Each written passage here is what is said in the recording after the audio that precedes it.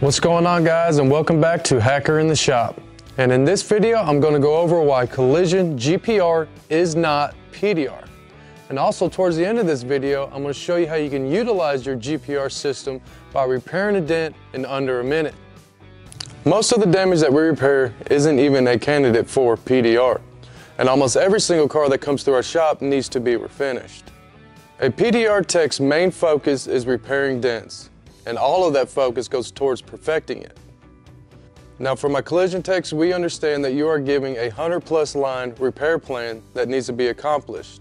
Everything from setup and measure, welding, riveting, safety inspections, calibrations, and the list continuously goes on.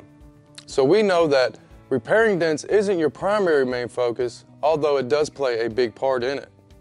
By nature, collision repair is somewhat invasive. So let's take the aspect of repairing dents and turn that into a less invasive repair. Especially with cars nowadays continuing to become more and more advanced, soon GPR will be the only way we can repair damage while staying in line with OE procedures. Now listen, nobody's expecting you to PDR it. Just remember the way that we have been repairing damage. We would grind the finish off, we would stud weld, grind it again, leaving the substrate pretty thin.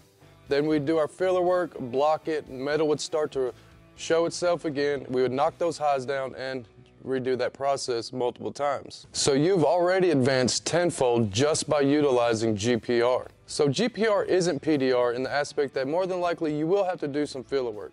And filler work isn't the issue.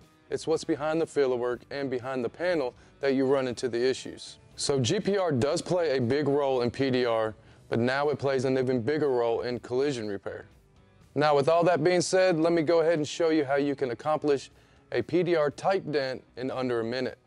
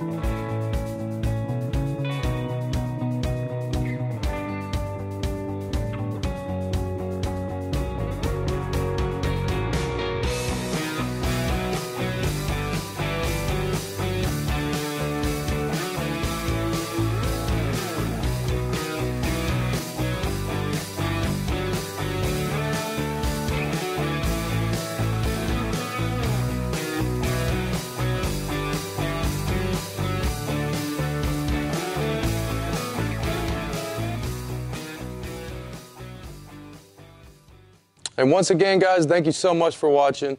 Click subscribe and hit that bell notification for more Hacker in the Shop.